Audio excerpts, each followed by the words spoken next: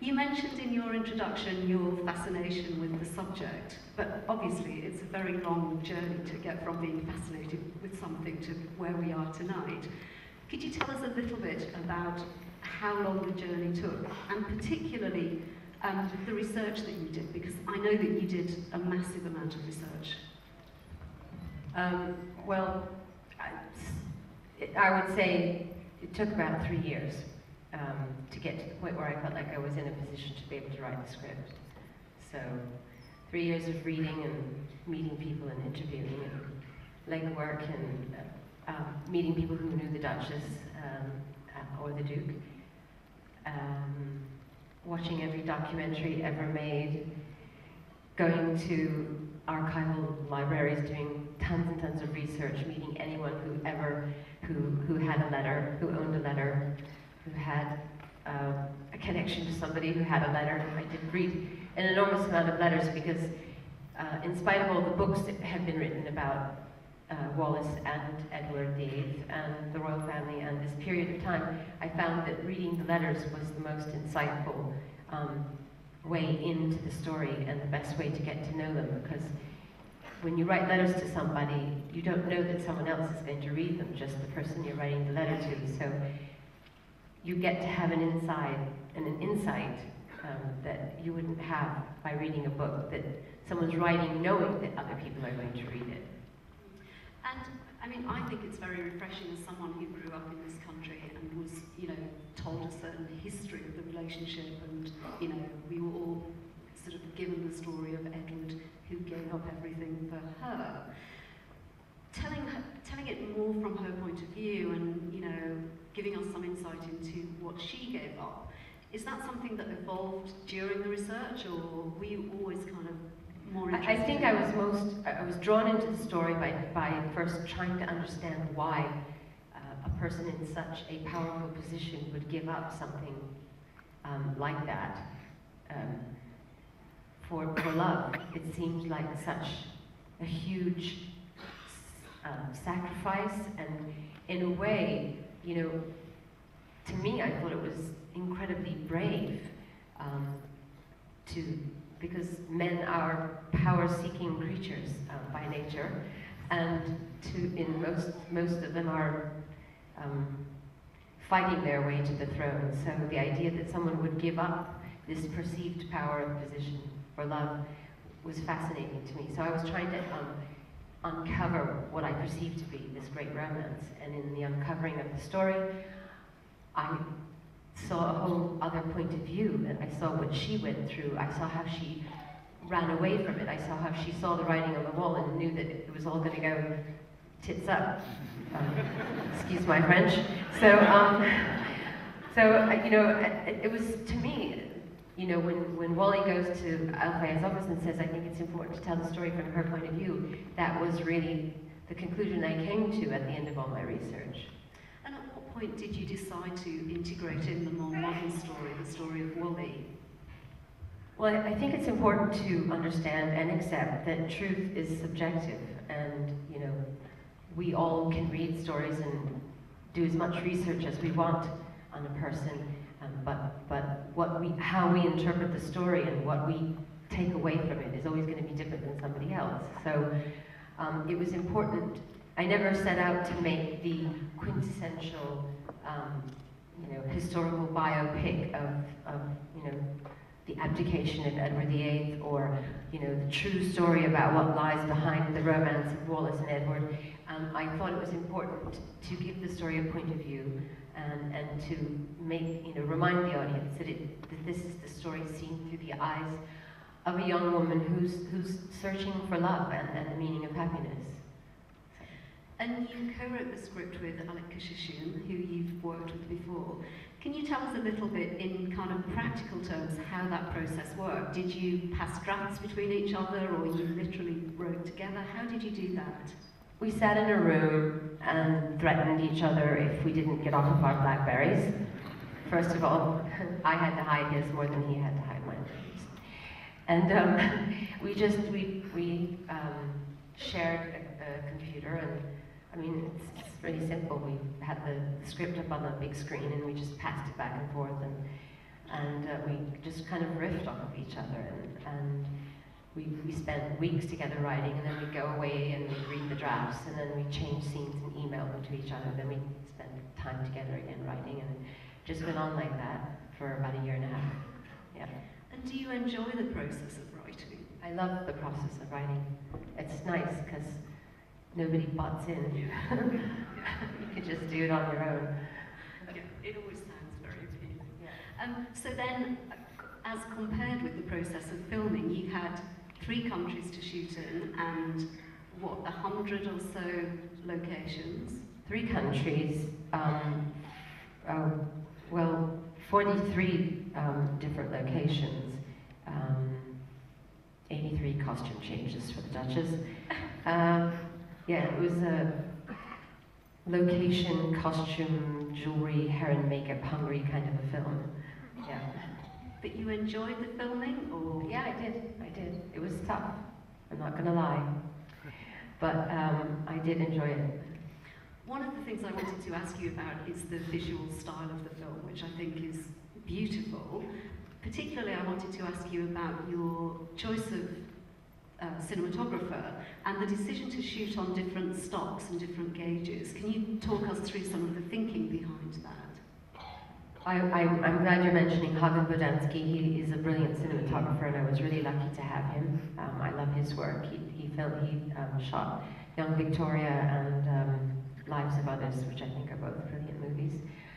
Um, so we, I chose to shoot it on, you know, the, the majority of the film on 35 millimeter, and then I wanted to use the 16 millimeter as a kind of punctuation mark in scenes when I wanted to come closer and have a, a sense of greater intimacy.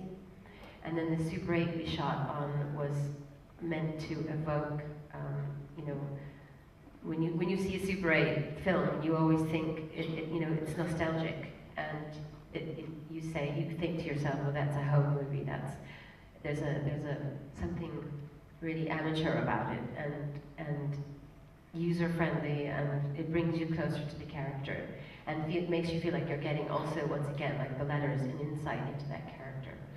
So And it's a very fluid camera. Can you, again, were there, were there kind of other films that influenced you in terms of wanting to shoot in that style, or was it just how you felt that story should be visually told? Well, I'm, I'm a big fan of um, Steadicam, and uh, you know, I, want, I wanted the camera to have a lyricism about it because I wanted, I thought, I wanted to make the stories weave together and and the love affairs between in, in, in both the modern world and, and in the past um, to be like a dance, and so that's easier to achieve with Steadicam. Um, one of the films that really influenced me was La Vie en Rose.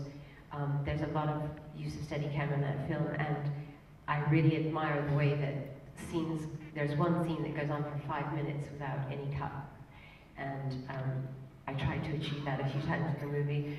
Um, and I think it's bold filmmaking because I think we're so used to watching movies with tons of edits and cuts. And, um, so that, that movie influenced me, the camera work in it. And I'm also a big uh, fan of tracking shots.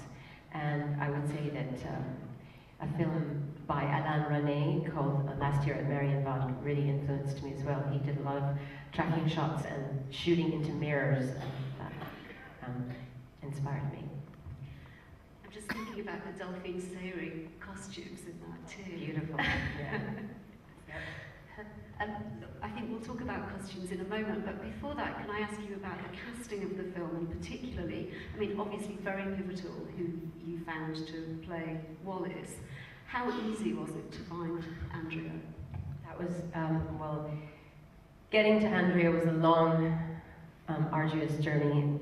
I, I met with a lot of actresses, a lot of really great actresses. This was really painful for me because a lot of actresses I really wanted to work with came to meet me and it was really hard saying no to them because they just weren't right for the part.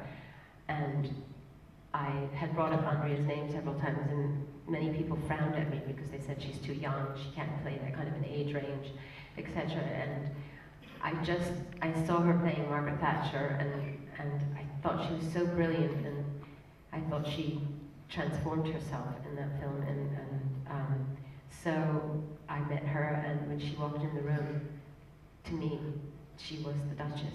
She had, she had dressed, and you know, in the way that the Duchess dressed and done her hair and makeup, and her long neck, and the way she moved her hands, and her carriage, and the combination of steeliness and fragility that she had.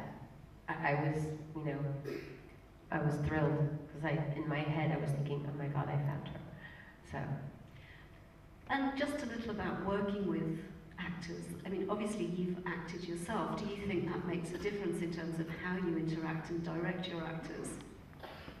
Yes, um, I always appreciated working on films where the where the director gave me as much support and direction as possible, and gave me as much information about my character as possible. I think actors want direction.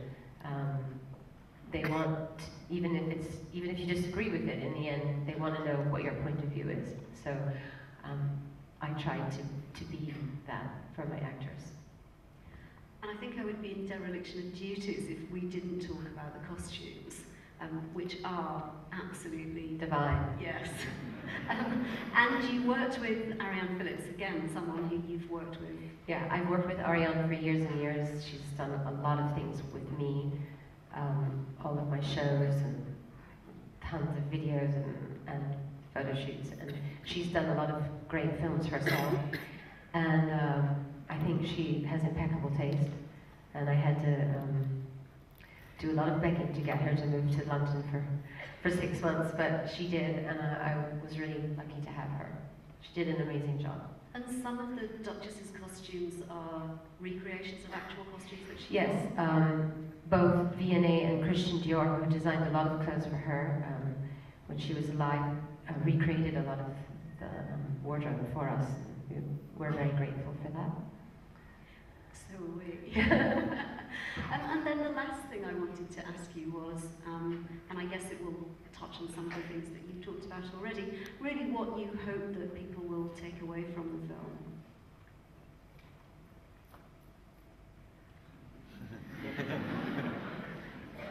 well, lots of things. I mean, the, I think it's quite a complex story, and it, you can enjoy it or take it in on a lot of different levels. I think one really important point is that there is no such thing as perfect love. And if you think so, then you're in for a rude awakening. um, and, and that real love requires compromise. And um, the other thing is, is the other message or idea that I hope people come away with is that nothing is what it seems. That you could read a story or hear about somebody or know about someone or something, and you know, there's always many sides to the story.